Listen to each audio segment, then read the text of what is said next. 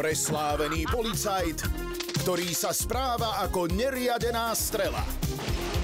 Svojrázny strážca zákona, akého dokáže zahrať iba skvelý Eddie Murphy.